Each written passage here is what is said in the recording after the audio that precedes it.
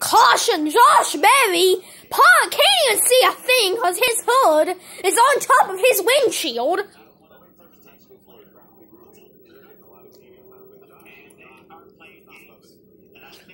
They'll take Fogleman last uh, last race's win at Talladega. He will not go back to back. I mean, not like he was anyway. Let's see what happened.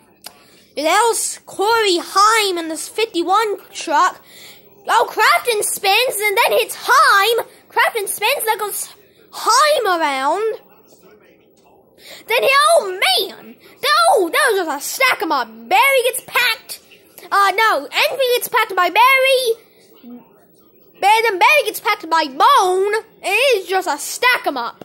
And a huge crash has erupted here from this one. Here's the onboard of Josh Berry. It's gonna be crazy. Yeah, they. Look, look at the hood. It flies. It just flies up.